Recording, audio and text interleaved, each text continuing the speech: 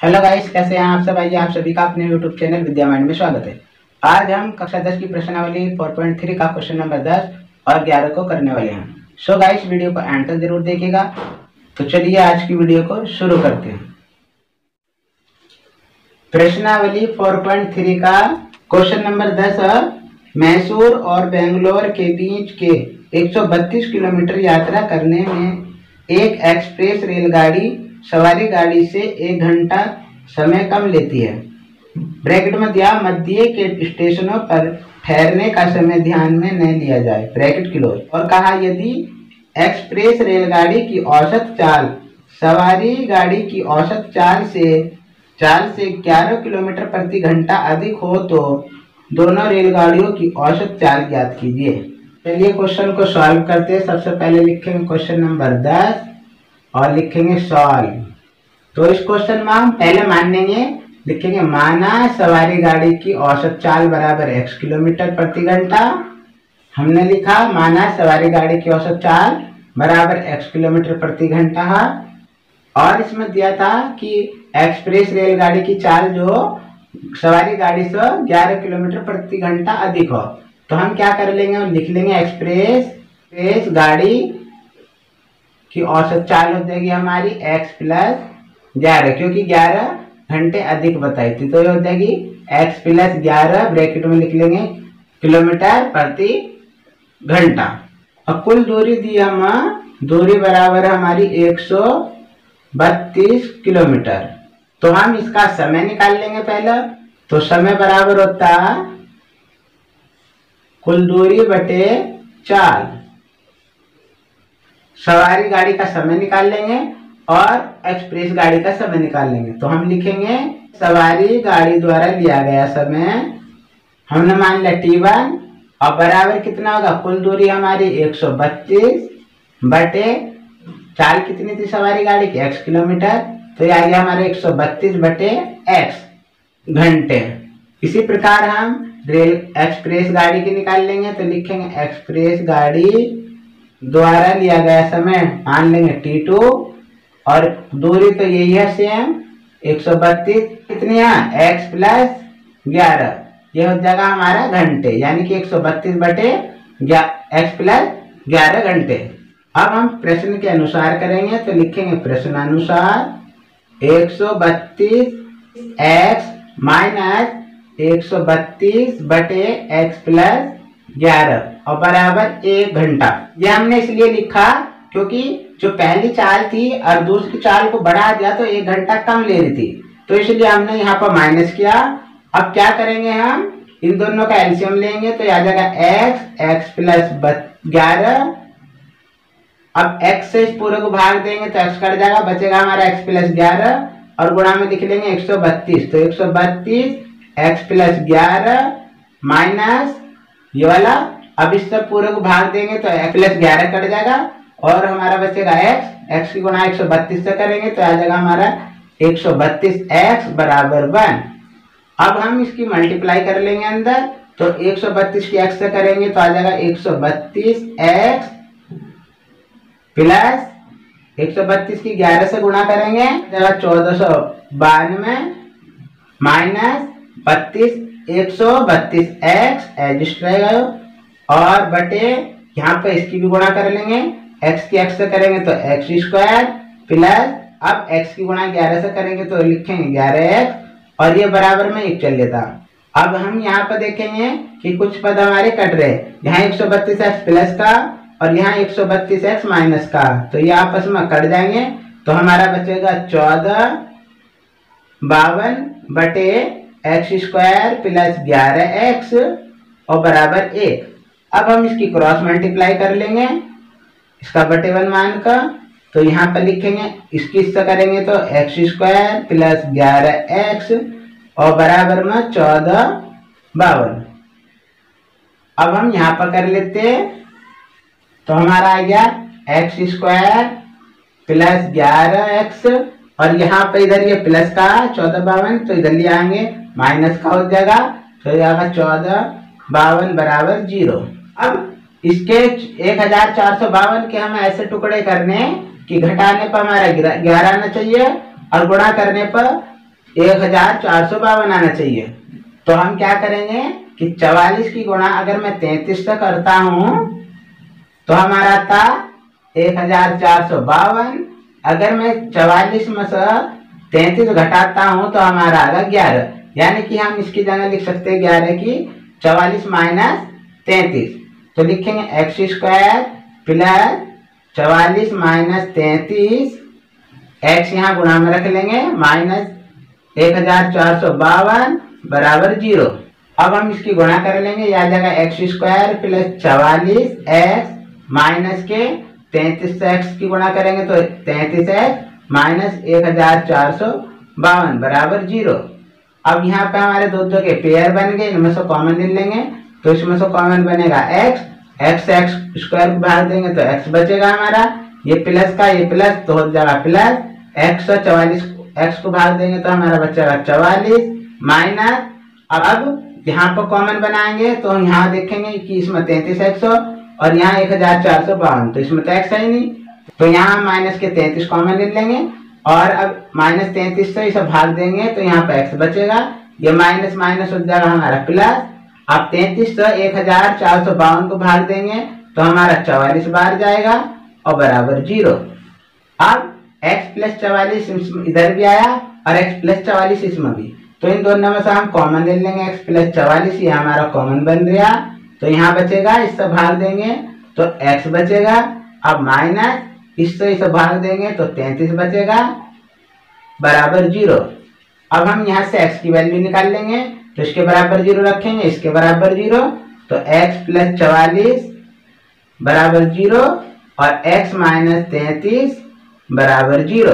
तो यहाँ से x की वैल्यू निकाल लेंगे तो x बराबर आ गया हमारा माइनस के चवालीस, क्योंकि यहाँ इधर प्लस का था इधर ले जाएँगे माइनस का हो जाएगा, और x बराबर आ गया ज़ीरो से इधर ले जाएँगे तो प्लस के तैतीस। तो x बराबर माइनस चवालीस को हम छोड़ देंगे, क्योंकि कोई भी चाल माइनस में नहीं होती, लिख देंगे छोड़ने पर। तो x बराबर हम ले लेंगे तैतीस। तो लिखेंगे, अतः तो हमने लिखा, अतः सवारी गाड़ी की औसत चाल बराबर होगी तैतीस किलोमीटर प्रति घंटा, क्योंकि हमने यहाँ पर x की वैल्यू तैतीस मानी। चवालीस को छोड़ दिया, क्योंकि ये माइनस का था।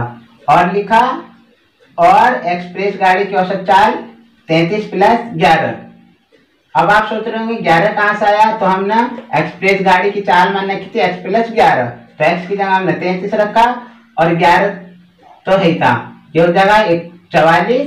तो ये आ गया हमारा एक्सप्रेस गाड़ी की चवालीस किलोमीटर प्रति घंटा। तो यही इसका आंसर हो गया। क्वेश्चन नंबर ग्यारह दो वर्गों के क्षेत्रफलों का योग चार सौ अड़सठ मीटर स्क्वायर है। यदि उनके परिमापों का अंतर 24 मीटर हो तो दोनों वर्गों की भुजाएँ ज्ञात कीजिए। चलिए क्वेश्चन को सॉल्व करते हैं। सबसे पहले लिखेंगे क्वेश्चन नंबर ग्यारह और लिखेंगे सॉल्व इस क्वेश्चन में दो वर्ग दिए हैं। तो पहले हम मान लेंगे माना, बड़े वर्ग की भुजा, बड़े वर्ग की भुजा बराबर एक्स मीटर और छोटे वर्ग की भुजा बराबर वाई मीटर। अब हम यहाँ से प्रश्नानुसार करेंगे, लिखेंगे प्रश्नानुसार। तो इस क्वेश्चन में कहा था कि दो वर्गों के क्षेत्रफलों का योग चार सौ अड़सठ। तो हम पहले वर्ग का निकाल लेंगे तो यानी कि वर्ग का क्षेत्रफल होता भुजा की घात दो। तो पहले हम बड़े वाले वर्ग का निकाल लेंगे तो वर्ग, भुजा की घात दो प्लस वाई स्क्वायर यानी कि दूसरे छोटे वर्ग का क्षेत्रफल बराबर होगा दोनों का जोड़कर चार सौ अड़सठ। और इसे हम इक्वेशन नंबर वन मान लेंगे। दूसरी बात में कहा था कि उनके परिमापों का अंतर, परिमापों का अंतर। तो परिमाप जो थे एक होता, वर्ग का परिमाप होता हमारा चार गुणा भुजा तो चार एक्स भुजा हमारी एक्स और अंतर माइनस दूसरा चार गुणा भुजा भुजा वाई थी, बराबर देखा हम चौबीस मीटर। अब यहाँ से हम चार कॉमन ले लेंगे। चार कॉमन लिया तो ये बचा माइनस एक्स माइनस वाई बराबर चौबीस। अब चार से काट देंगे, चार छंग चौबीस तो एक्स माइनस वाई बराबर आ गया हमारा छ अब यहाँ से हम x की वैल्यू निकाल लेंगे तो x बराबर आ जाएगा छ प्लस वाई यहाँ से y इधर ले जाएँगे तो प्लस का हो जाएगा। और x का मान समीकरण एक में रख देंगे। तो लिखेंगे समीकरण एक में x बराबर छ प्लस वाई रखने पर। समीकरण हमारी x की जगह हम रखेंगे। छ प्लस वाई इसका स्क्वायर हो गया, करेंगे क्योंकि यहाँ पे एक्स स्क्वायर था। प्लस वाई का स्क्वायर बराबर चार सौ अड़सठ। अब हम इसका ए प्लस बी का होल स्क्वायर खोल लेंगे तो लिखेंगे ए का स्क्वायर यानी कि छह की घात दो प्लस बी की घात दो यानी वाई की घात दो प्लस टू ए ए का मान छह गुणा बी का मान वाई प्लस ये वाई स्क्वायर ऐसे रखेंगे और बराबर चार सौ अड़सठ। अब हम इसका वर्ग करेंगे छह का छह का वर्ग होगा छत्तीस प्लस वाई स्क्वायर ऐसी प्लस इन दोनों गुणा कर लेंगे छह दूनी बारह वाई प्लस वाई स्क्वायर बराबर चार सौ अड़सठ। अब एक वाई एरिया एक के, दोनों प्लस की तो हमारी हो जाएगी दो वाई स्क्वायर प्लस बारह वाई और ये प्लस के छत्तीस हमने यहाँ पर रख दिए। इस चार सौ अड़सठ को इधर ले आएँगे तो माइनस का हो जाएगा चार सौ अड़सठ बराबर बचा ज़ीरो। अब हम यहाँ पर कर लेते हैं। तो हमारा ये आ गया था टू वाई स्क्वायर प्लस बारह वाई प्लस छत्तीस माइनस चार सौ अड़सठ। अब हम इसमें छत्तीस में से चार सौ अड़सठ घटा लेंगे तो टू वाई स्क्वायर प्लस बारह वाई हाँ ये छत्तीस प्लस के और माइनस के चार सौ अड़सठ, माइनस के बड़े हैं। तो माइनस के बचेंगे तो घटाएँगे आठ में से छह जाएँगे, हमारे दो बचे, छह में से तीन गए, तीन बचे, चार ऐसी।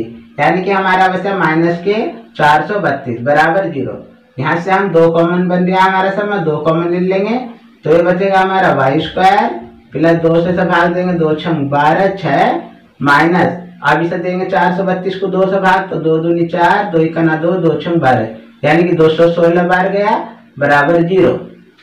अब इस दो को ज़ीरो के भाग में पहुँचा देंगे तो ये हो जाएगा वाई स्क्वायर प्लस छ वाई माइनस के दो सौ सोलह, और जब ये इधर भाग में जाएगा तो हो जाएगा ज़ीरो।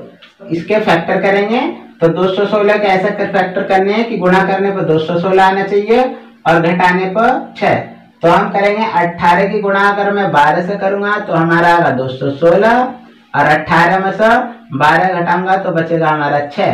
तो हम यहाँ पर लिख सकते छह की जगह अट्ठारह माइनस बारह तो लिखेंगे बाईस स्क्वायर प्लस छह की जगह लिखेंगे अट्ठारह माइनस के बारह वाई माइनस के दो सौ सोलह, बराबर ज़ीरो। अब इसकी गुणा कर लेंगे अंदर तो यह आ जाएगा बाईस स्क्वायर प्लस अट्ठारह वाई प्लस माइनस माइनस बारह की वाई से करेंगे तो बारह वाई माइनस दो सौ सोलह बराबर ज़ीरो। अब ये दो दो के पेयर बना लेंगे, इनमें से कॉमन लेंगे, यहाँ से कॉमन बना हमारा वाई बाईस वाई को भाग देंगे तो बाईस बाईस स्क्वायर को भाग देंगे हमारा बच्चा वाई प्लस बाईस अट्ठारह वाई को भाग देंगे तो अट्ठारह बचेगा वाई कट जाएगा माइनस इसमें से हम कॉमन ले लेंगे बारह तो यहाँ बचेगा हमारा वाई प्लस माइनस माइनस हो जाएगा प्लस बारह से, दो सौ सोलह को भाग देंगे तो गया हमारा अट्ठारह बार बराबर ज़ीरो। यहाँ पे वाई प्लस अट्ठारह, यहाँ पे भी है वाई प्लस अट्ठारह, यहाँ पे भी। तो हम यहाँ कॉमन ले लेंगे वाई प्लस अट्ठारह तो हमारा बचेगा यहाँ वाई माइनस के बारह बराबर ज़ीरो। अब हमें y का मान निकालना है तो y प्लस अट्ठारह बराबर ज़ीरो रखेंगे और y माइनस बारह बराबर भी ज़ीरो रखेंगे। तो याद आएगा y प्लस अट्ठारह बराबर ज़ीरो और y माइनस बारह बराबर ज़ीरो। तो यहाँ से y का मान निकाल लेंगे तो y बराबर आ जाएगा, इधर प्लस का इधर ले जाएँगे बराबर के तो हो जाएगा माइनस के अट्ठारह और यहाँ से y बराबर आ जाएगा प्लस के बारह। क्यों? क्योंकि इधर ले गए हम प्लस का हो गया। तो माइनस की तो हम छोड़ देंगे, क्योंकि कोई भी वर्ग की भुजा माइनस में नहीं होती, इसलिए हम लिख देंगे छोड़ने पर। अब y बराबर हम ले लेंगे बारह। तो हमारे छोटे वर्ग की भुजा आ गई बारह।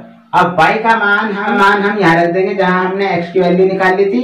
ये था x बराबर छह प्लस वाई तो इसे हम समीकरण सेकंड भी मान सकते हैं। तो लिखेंगे समीकरण सेकंड से। तो x बराबर छ प्लस वाई था। तो x बराबर आ जाएगा छ प्लस वाई की जगह हम रख देंगे बारह। तो यह हमारा x का मान आ गया अठारह। तो लिखेंगे अतः तो हमने लिखा अतः बड़े वर्ग की भुजा बराबर अठारह मीटर हो गई छोटे वर्ग की भुजा बारह सेंटीमीटर। और यही इसका तो गाइस आपको ये क्वेश्चन अच्छे से समझ में आ गए होंगे। अगर आपको क्वेश्चन समझ में आए तो वीडियो को लाइक कीजिए और शेयर कीजिए। अगर आप हमारे चैनल को पहली बार देख रहे हैं तो हमारे चैनल को सब्सक्राइब कीजिए और साथ में बेल आइकन को भी प्रेस कीजिए ताकि जो भी हम वीडियो अपलोड करें तो सबसे पहले नोटिफिकेशन आपको मिल जाए। सो so गाइस आज की वीडियो में इतना ही। फिर मिलते हैं नेक्स्ट वीडियो में। नेक्स्ट चैप्टर के साथ तब तक के लिए जय हिंद वंदे मातरम।